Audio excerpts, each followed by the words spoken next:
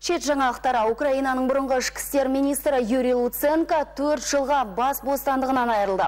Мұндай шешімді Киевтің Печер аудандық соты дүйсенбі күні қабылдады. Экс-министр 2010 жылы тұтқындалған, оған қызметін асыра пайдаланып мемлекеттің 125 мың доллар қаржысын жымқырды деген айып тағылды. Алайда Луценко кінәсін мойындамай отыр. Оның айтуынша сот шешімінің артына біреулердің саяси кек алу ниеті жатыр.